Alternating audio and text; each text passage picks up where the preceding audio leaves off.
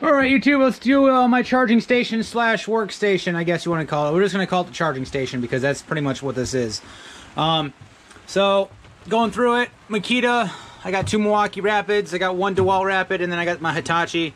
Uh, so, that's basically, I mean, I'm, I don't see myself, you know, knock on wood, I don't see myself getting any more battery lines because pretty much with these, uh, with these four, I'm pretty covered. So, um, per, pretty permanent. I do have, uh, they're all, you can see down here, they're all um, power strip.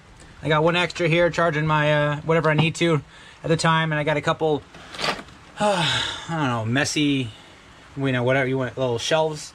Um, yeah, so eventually there, uh, I'll, I'll clean them up. But you can see I'm, I'm wiring the trailer for uh, 110.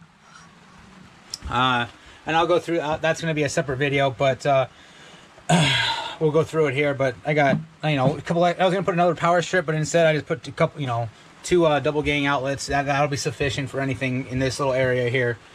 Um, so let's go from top to bottom here. Um, got my caulk, just, you know, they're starting to fly out because this is the back of the trailer, so bounce around more. So one little bungee cord, everything stays in place. I haven't lost one, uh, one on the floor since, so I got to restock here. But, um, yeah, caulk, and then on the side over here, I got some uh, brake cleaner, some starting fluid, and then uh, some wood sealer for some reason. And uh, yeah, you know, brake cleaner cleans off a bunch of crap that I don't want on my hands. I know it's, you know, it's it's pretty kind of it's kind of harsh, but it does cut it real quick. And when I need to get going, it, you know, I can I can take care of it. So, um, couple of my uh, little squirt guns there. Um, I know the, these these, these 16 foot, these tape measures from Milwaukee kind of suck, but I got these for free, so they'll work. So tape measures, uh, a couple gun, uh, belt loop for holstering your impacts, a little magnet. I will upgrade this to a larger magnet because you can see I'm kind of running out of space. But every like all the little bits that I use really on a daily basis are up here. Um, GoPro head mount, and then the second one, um, I've got Keith's hand cream helps out. Thanks, wife. Appreciate it.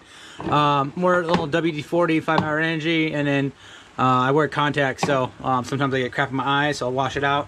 Uh, these are all my char. This is my charged uh, Milwaukee. Uh, plus everything is on the guns and on the tools, um, and whatever's on the power station right now. Uh, but yeah, that's pretty much it. Down here, charged DeWalt and Hitachi. Um, Makita. I don't have too many of those batteries. I just don't need them. Um, and this is where I keep my, you know, dead batteries. I just chuck them into here. We're good. They kind of don't slide around. We're good to go.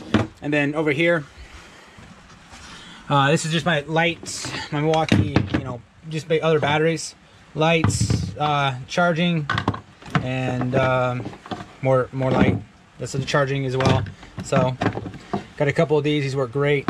They're magnet, so there you go. See, uh, they work great. Uh, I keep those in there. But uh, that's and the work surface itself is uh, I, I, like it. it. It's you know in the back of the trailer, so it, it you just run it in real quick. You can set stuff down here. It just it's just nice. Um, really enjoyed this area right here. It's it's it's perfect. I was debating whether or not to put it in the trailer because of how I want to use it, and I do have the front of the trailer as well for a workspace. But this is nice, very very useful, and I, if I want to, I can always you know divide these up if I need to, and yeah, it's great. Um, oh, right down here in the second little bar here, magnetic tray, um, uh, a little level, a couple of my uh, little razor knives, iPro knife, and then another Milwaukee light.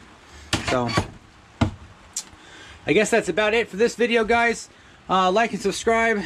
Um, there's not much else going on on this, but uh, I just wanted to kind of give you a rundown. Super, super excited about it. Um, yeah, we gotta get the electrical uh, wear it in. That's a separate video, and it will we will not be on uh, shore power anymore. Well, yes and no. I mean, charging battery, you know, you know, all that kind of stuff. But yeah, but without without hooking anything up to any house receptacle, I will still have be able to charge my batteries and do whatever I want to, new you know microwave stuff and all that good stuff. But uh, another video. Like, subscribe. I'll see you guys in the next video. Take it easy.